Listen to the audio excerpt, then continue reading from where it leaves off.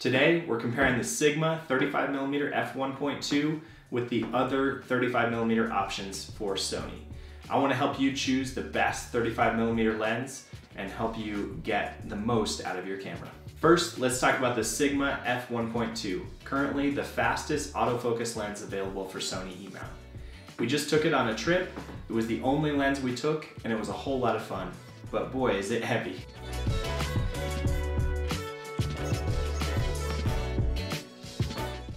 We loved shooting with it. The low aperture is amazing and the low light capacity is also amazing. My goal in this guide is to help you decide if it's worth the wait and what the best lens in that focal length is. There is another option available from Sigma, the f1.4 version, which is lighter and a little bit slower than this lens. Let's talk about the lenses that Sony offers and how they compare with the giant Sigma. So from Sony, you've got a f1.4 version, which is 0.2 stops slower than this lens, but it's over 400 grams lighter. So that's quite a benefit in weight savings. The other consideration is that the f1.2, there is some debate about whether or not that 0.2 stops is faster. So some people say that the f1.4 version has the same speed as the f1.2.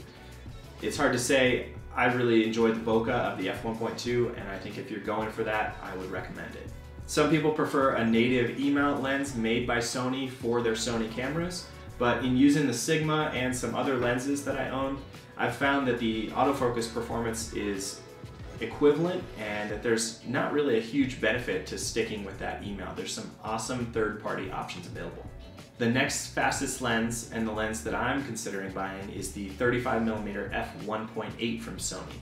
You get a substantial drop in price but only 0.6 stops slower than the Sigma. So it's a, it's a pretty uh, appealing option for those looking for that fast but inexpensive price point. For me, being having a lightweight lens is a huge priority, which is why in the past we've always used this 35mm f2.8, which is super compact, fits in your pocket, it's a great lens. The f1.8 version is an extra stop roughly stop and a half faster than the 2.8 version, but it's a little bit bigger. So you gain some low light performance, you lose some size benefits. You have to decide if you shoot more in low light or if you want something super compact. The other lens that we use uh, almost all the time is the 16 to 35 millimeter f2.8, and that's the lens we're shooting on right now. That lens is super versatile and also has that relatively fast 2.8 aperture. So in summary, the three characteristics that differentiate these lenses are price, size, and minimum aperture. We'll put up a chart that shows how those compare, but I think it's important to choose what is most important to you. If you want fastest, I'd go with the 35mm f1.2.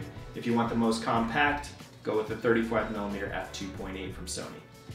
And if you're like me and you're trying to find the balance of everything, you might check out the 35mm f1.8 from Sony. I think that's gonna be the lens that I choose.